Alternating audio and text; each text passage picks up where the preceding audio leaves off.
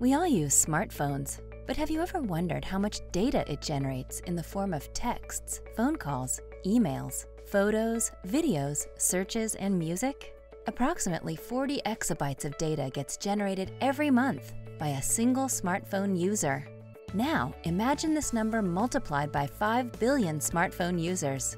That's a lot for our mind to even process, isn't it? In fact, this amount of data is quite a lot for traditional computing systems to handle. And this massive amount of data is what we term as big data. Let's have a look at the data generated per minute on the internet.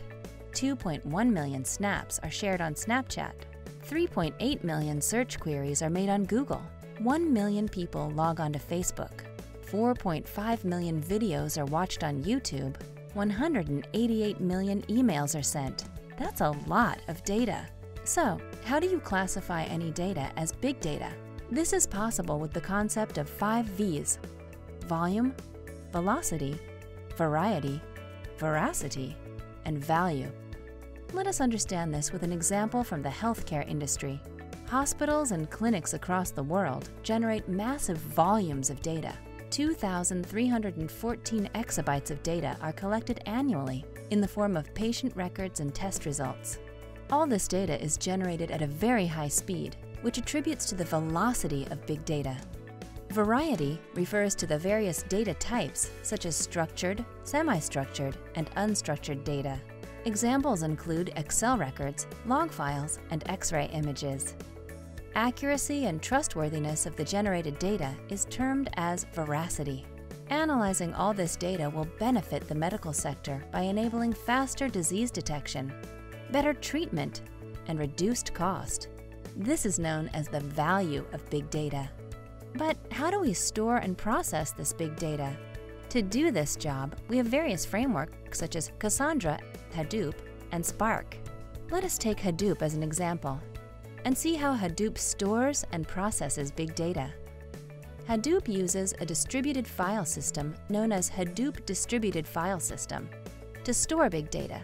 If you have a huge file, your file will be broken down into smaller chunks and stored in various machines. Not only that, when you break the file, you also make copies of it, which goes into different nodes. This way, you store your big data in a distributed way and make sure that even if one machine fails, your data is safe on another. MapReduce technique is used to process big data. A lengthy task A is broken into smaller tasks, B, C, and D. Now, instead of one machine, Three machines take up each task and complete it in a parallel fashion and assemble the results at the end. Thanks to this, the processing becomes easy and fast. This is known as parallel processing. Now that we have stored and processed our big data, we can analyze this data for numerous applications. In games like Halo 3 and Call of Duty, designers analyze user data to understand at which stage most of the users pause, restart, or quit playing. This insight can help them rework on the storyline of the game and improve the user experience, which in turn reduces the customer churn rate. Similarly, big data also helped with disaster management during Hurricane Sandy in 2012. It was used to gain a better understanding of the storm's effect on the east coast of the U.S., and necessary measures were taken. It could predict the hurricane's landfall five days in advance, which wasn't possible earlier. These are some of the clear indications of how valuable big data can be once it is accurately processed and analyzed. So, here's a question for you. Which of the following statements is not correct about Hadoop Distributed File System, HDFS? A. HDFS is the storage layer of Hadoop. B. Data gets stored in a distributed manner in HDFS. C. HDFS performs parallel processing of data. D. Smaller chunks of data are stored on multiple data nodes in HDFS. Give it a thought and leave your answers in the comment section below. Three lucky winners will receive Amazon gift vouchers.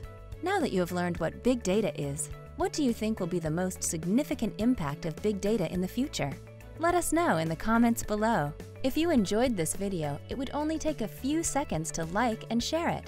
Also to subscribe to our channel if you haven't yet, and hit the bell icon to get instant notifications about our new content. Stay tuned and keep learning!